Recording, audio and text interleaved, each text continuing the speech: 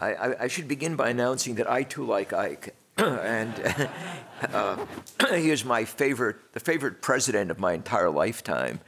Uh, I don't know if, so much reflection on his uh, brilliance as a chief executive as the uh, the dismal failure of some of the people who followed him, uh, particularly the uh, the the current cretinous head of state. well, I hope we'll be rid of next year. I, I, would like to begin my remarks by thanking Eric Strategos, who um, is uh, uh, subsidizing my presence. Um, I am especially delighted since, uh, since Eric and I are friends and see each other all the time, uh, at least once a month, um, at a Japanese bistro, which is about uh, half a mile from my house. And because of my advanced age, Eric is nice enough to drive all the way from York, uh, Pennsylvania, about 25 miles, to meet me. Um, I had no idea that he was going to sponsor me, but um, I, I, shall gladly accept uh, his act of kindness. Um, I, I, feel a little bit out of my element as I tell people speaking on an economic subject, since by training, um, I am an historian of political movements and European social intellectual history. Um, but I am interested in the topic that I intend to address, uh, which is uh, the, uh, uh, the plan for, for digital currency uh, that will be distributed by federal banks. I, I, as my remarks should make clear, I'm not very happy with the prospect of that happening. Um, and uh, one of the things that sort of sharpened my interest is that the November issue of our magazine, which I'm editor in chief, Chronicles, will deal with the future of the American dollar. and uh, uh, this sort of got my mind uh, focused on digital currency after I read uh, an article that was very critical of it in the, in the Wall Street Journal. and I did further research, um, and the, the upshot of which is the presentation that you are about to hear. Um, allow me to begin my remarks with a broad generalization. Whatever the modern, self described liberal democratic administrative state claims to be doing in the name of disadvantaged people is intended primarily, and perhaps exclusively, to increase government control. Further, whatever the same regime purports to be making, uh, purports to be making our lives more comfortable, more agreeable, we may assume that our freedom and property rights are under assault. Therefore, when I read about a, an executive order issued by the Biden administration last year regarding a plan for digital currency, I naturally suspected something quite dire. A story that appeared in the New York Times on July 22nd, 2021, describing a plan to help the unbanked engage in financial transaction told the discriminating reader all he had to know about government run digital currency. Banks right now throw at just about anyone who enters their facilities, save for the most unreliable deadbeats, the chance to access their services. How many people out there just don't have the means of filling out a banking application because of some insurmountable difficulty? possibly about as many humans as those who can't show voter identification but feel excluded from the democratic process if they can't have their votes for the Democratic Party certified and then perhaps counted twice.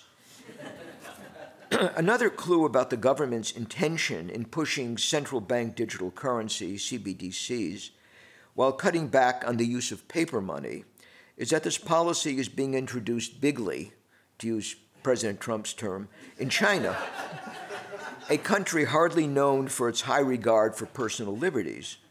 Chinese are no longer required to trade in paper yuan, but can access electric allocation of credit, which allow them to buy commodities and engage in business transaction. a similar process would be open to us in this country, supposedly, if central banks, on instruction from the government, were authorized to issue digital currencies. Although we might be uh, told differently, sooner or later it might become uh, feasible under the new arrangement to ditch paper currency entirely. and there have been plans like this discussed in other countries, in Germany in particular. I've been reading about this. and the, you know, a, a, plan that would really cut back on, uh, on paper currency in favor of digital currency is something being considered by the German government at the present time. We'll then carry out our, all our financial dealings electronically with government issued electronic currency and receive electronically issued compensations for our labor. A further benefit of this innovation, or so I've been assured, is that it wouldn't be necessary under the new system to worry about non authorized digital currency like Bitcoin. The government and central banks would be making a safer product available to us, which would benefit particularly the unbanked. We should also hope that Bitcoin would then vanish as a fake alternative to real, that is, government guaranteed digital currency. the problem with this argument is what it fails to reveal.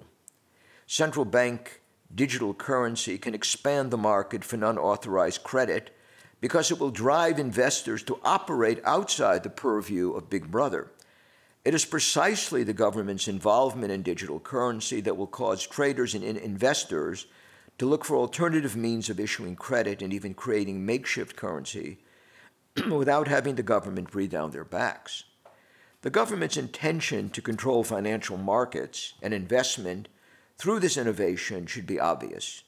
Who invests where, how much, and when will depend on obtaining the needed capital from state bureaucrats, perhaps under the influence of party functionaries. The attempt to present uh, CBDCs as a courtesy that the state will be providing grateful citizens is patent nonsense. The government's digital currency issued through central banks will more likely help concentrate financial activity in the hands of the state Government officials will then drone on about equity while extending electronic credit to some but not others. This will have the predictable effect of creating clandestine financial activity. Uh, Eswar Prasad, an economist at Cornell and the author of the bestseller The Future of Money, can hardly be accused of being a right winger. Prasad is a frequent contributor at Brookings and seems generally in favor of extensive government economic planning. But when it comes to government run digital currency, he points out its downside, even while noting this plan may reflect a noble purpose of banking inclusion. There's an obvious issue of privacy, according to, um, according to Prasad. Quote, a digital currency could allow government to track every transaction a person makes, no matter how minute. Further, quote, a government could make it impossible to spend the, di- the digital currency on things that the ruling party deems problematic. The government could also make transacting with certain people difficulty or impossible. China already has a social credit system that ranks citizens uh, algorithmically and punishes them in various ways. Unquote.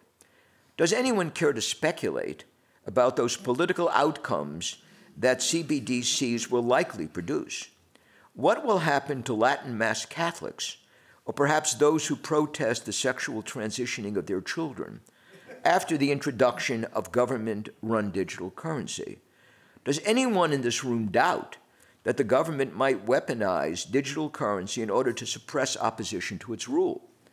Given all that we've observed of the Democrats in power since not 2021, should we imagine anything else happening in those circumstances? And why would I believe the opposition would prevent that outcome if it were allowed to win the next presidential race, which it probably won't be? The Republican record of reining in government overreach has been something worse than anemic. From CNN, we learned the following about the eventual widespread use of digital currency. Quote, the rise of CBDCs could potentially threaten the status of the US dollar as the global reserve currency. Different countries will have a much easier time transacting with each other directly, removing the need for the U.S. or um, uh, SWIFT, a global financing messaging system. um, the argument, the takeaway here is the government is considering plans to introduce digital currency to offset the effects of this possible move by other major countries. But it's hard to see how government controlled digital currency would benefit most Americans. Many of our commercial transactions are already being conducted through digitally transmitted credit, even without the state overseeing who receives what. An article in the Wall Street Journal on February 7, 2023 makes clear, quote, that a CBDC would empower the feds but not Americans, unquote. In the end, it may pay to consider the broader context of the government's actions in the economic sphere to understand how digital currency would advance long established political goals. Let us reflect on how the government is presently carrying out its economic task. The Biden administration, to its discredit, has already caused inflationary cycle through reckless spending and irresponsible energy policy. Biden's Secretary of the Treasury clearly lied to us when she assured the public that inflation would make more disposable income available to more American families. The removal of American energy independence was definitely not a move intended to strengthen our dollar. And the predictable effect of that disaster was to weaken our currency by putting us in the situation of having to beg other countries to sell us their energy at higher and higher prices. in a carefully researched essay for Chronicles, our foreign policy editor Sergei Trifkovic observes that much of the decline of the American dollar as an international currency resulted from the American government's decision to restrict the use of paper of American currency, lest too many dollars fall into the hands of hostile powers. Uh, to quote Trifkovic, a backlash was both predictable and inevitable. In the five years leading up to 2021, the share of the dollar in central bank reserves fell from 70% to 59%. Dollars held by non American banks fell from 7,085 to 6,471 billion between December 2021 and December 2022.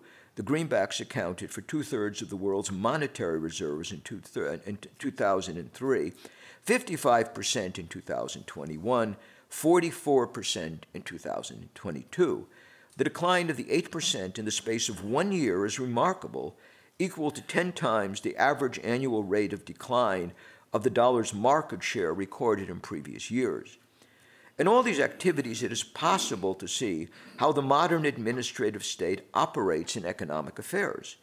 It presses onward even when its policies fail. It is not deterred by these failures, but works to take even more control in the name of equity, climate change, or in the present case, the unbanked. This critical perspective makes more sense than swallowing predictable bromides about the government seeking to help the disadvantaged by introducing CBDCs. According to Prasad, slightly less than 5% of the American population lacks, lacks, banking access. We might also consider in this vein what Michael Rectenwald designates in Google Archipelago as governmentalities, agencies that appear to have an independent existence but which function as extensions of the administrative state and execute state functions.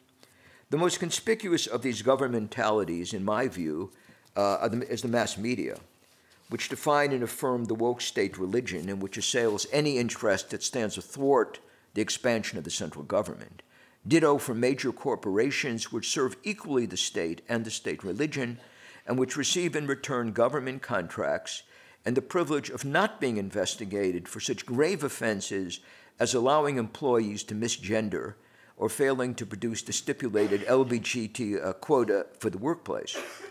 Universities and institutes are likewise included among Rectenwald's governmentalities, something that should not surprise anyone who has bothered to notice these entities. It is also hard to miss the fact that Brookings Institute, whose fellows and staffs move in and out of government, have been among the most enthusiastic advocates of CBDCs. According to Brookings, CBDCs would facilitate international commerce, reverse de dollarization, and contrary to putative misinformation, not be accompanied by the gradual removal of paper currency. And least of all must we fear in this instance further government control of financial activity. State actors are supposedly helping us engage in safe transactions during a peaceful transition to a more global economy. Another obvious example of government agencies claiming to be dealing with finance but punishing enemies and rewarding friends is the IRS. This may be an even more brazen partisan actor than the Federal Reserve because there is nothing clandestine about how our tax collectors harass and shake down opponents of the state party. the Obama administration engaged in this activity uninterruptedly for years with impunity and I'm still waiting to see if Lois Lerner and other IRS officials who targeted conservative religious organizations and Republican and libertarian critics and subjected them to painful audits that reveal that most minor tax infractions will be brought to justice.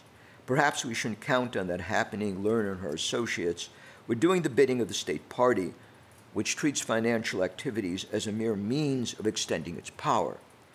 We made note with satisfaction that some presidential candidates, namely Ron DeSantis, Vivek Ramaswamy, and Robert Kennedy Jr., have expressed opposition to government controlled digital currency as a tool for allowing the federal state to restrict our financial activity, uh, to gather information on spending, and to deny financial resources to those who displease the state party and its minions. Minnesota Congressman Tom Emmer, a member of the House Financial Service Committee, has gone even further in opposing this plan, which is already in the works. Emmer is sponsoring a bill that would deny the Federal Reserve the right to produce or manage these, uh, uh, the, the digital currency. According to Emmer, this simple legislation, quote, stops the administrative state under President Biden from introducing a financial surveillance tool that could undermine the very essence of our way of life, unquote. The assumption is that our way of life has still not been undermined, which may be an overly optimistic conclusion. Uh, on May 12, 2023, Florida Governor Ron DeSantis signed a bill that forbids the use of CBDCs in his state. The explanation accompanying the signing is that the governor and state legislature oppose any attempt by the federal government to oversee our disposal of money. Equally telling is this admonition against the immediate introduction of CBDCs, issued strangely enough, well, not but by the American Banker Association on September 13. Issuance of CBDC would fundamentally change the relationship between citizens and the Federal Reserve, undermining the important role banks play in financial intermediation and exacerbate the economic and liquidity crisis and impede the transmission of monetary policy. Uh, in all fairness, it must be said that the Federal Reserve is not rushing at full throttle to introduce digital currency. In a report issued in January 2022, federal board members dwelled on the technical barriers that prevented the completion of the currency project in the near term. Uh, according to, to, the, uh, to the Federal Reserve report, while the CBDC could provide a safe digital payment option for households and business um, as the payment system continues to evolve and may result in faster uh, payment options between countries. There will also be downsides. They include um, uh, how to ensure uh, a, CDC, uh, a CBDC would preserve monetary and financial stability as well as complement existing means of payment. Most of the political report um, uh, most of the political support for uh, digital currency, government run digital currency, let us make this clear, is not coming from the Federal Reserve. Uh, it is coming from the Democratic Party um, and uh, from President Biden's handlers. Um, but according, according to the, the Fed, and this is sort of surprising, uh, they believe this should be done in a measured way without creating financial instability. Not surprisingly, the federal report never mentions the obvious concern that the plan would put the government firmly in control of our financial activity. We are also given the misleading impression in this report, uh, which I have not read in its, uh, to you in its entirety, that the lockdown was something that just happened. The last time I checked, post democratic governments almost everywhere in the Western world imposed those dictatorial measures. As a governmentality, however, the Fed who issued this report wisely avoided any mention of certain indelicate matters. The cheerleading for this innovation is coming from the White House and from progressive legislators like Maxine Waters. Waters, in particular, seems dazzled by how expeditiously the Chinese are moving um, beyond their one time dependence on paper money while centralizing all financial activities in the hands of the state. Since worst case scenarios usually turn out to be true, when we're talking about public administration, whose officials, as we know, vote overwhelmingly for the left and the extension of public control, we can understand why this cheerleading is coming from a leftist legislator. Waters and other congressional advocates of CBDCs have taken the side whether their politics would drive them. For the rest of us, however, it may be good to keep in mind, with regard to government run digital currency, what Ronald Reagan once declared to be the most frightening words in the English language. They are, I've come from the government and I'm here to help you. Thank you.